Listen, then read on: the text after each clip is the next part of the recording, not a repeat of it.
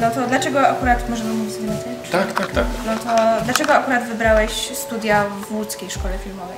Nie wybierałem, to szkoła mnie wybrała. Mm, Bo ja za pierwszym razem jak zdawałem byłem wszędzie pod kreską, za drugim razem zdawałem byłem też wszędzie pod kreską, nawet w Łodzi i tylko Łódź się nade mną zlitowała. Z trzeciego miejsca spod kreski wskoczyłem za drugim razem, jak dostałem się do Łodzi. Czyli przeznaczenie. No, musiało to być przeznaczenie. Z perspektywy czasu nie zamieniłbym łódzkiej szkoły na żadną inną. Super, To jest. cieszymy się. E, Jak wspomniałaś studia w Łódzkiej Szkole Filmowej? Różnie. Od y, płaczu po, po poznanie ludzi, którzy bardzo wpłynęli na moje życie, po, po miłości, po, po, po, po, po, po jakieś też takie rzeczy, które poznały, poznałem w sobie, których w ogóle w siebie bym nie podejrzewał.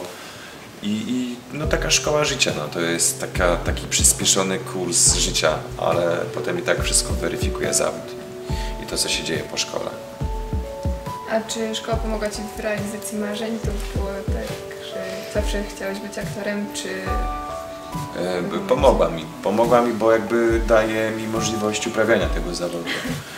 Oczywiście można też y, nie mieć wykształcenia w tym kierunku, natomiast y, w moim przypadku no, mi pomaga, bo daje mi wykształcenie i daje mi możliwość uprawiania tego zawodu i no, no, po, po to się wybiera kierunek studiów, po to, żeby potem w zawodzie pracować, żeby się kształcić, żeby od paru mądrych ludzi y, czegoś nowego się dowiedzieć w szkole. Mm, Czy masz jakiegoś mentora, kogoś, kto Cię inspiruje do dalszych działań Mam takich aktorów paru. E, Heath Ledger, Christian e, Bale, Gary Oldman. To też e, są ludzie, e, tutaj profesorowie, Gliński, Zawodziński, e, Grzegorz Wiśniewski bardzo na mnie też wpłynął. W sensie dużo, dużo mi dał. I Michał Staszczak, mój opiekun. No dziewczyny. Mm, A w jakich gatunkach filmowych czujesz się najlepiej?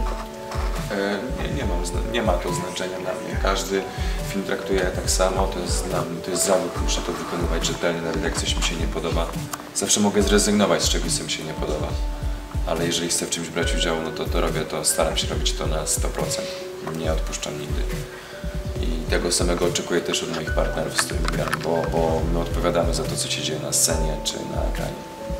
A jednak scena się odbywa między jednym a drugim człowiekiem i my tworzymy całość. Nie ma tak, że jeden aktor tworzy, a drugi nie tworzy. Dwóch musi tworzyć. To, to dziękujemy. dziękuję bardzo. No, super.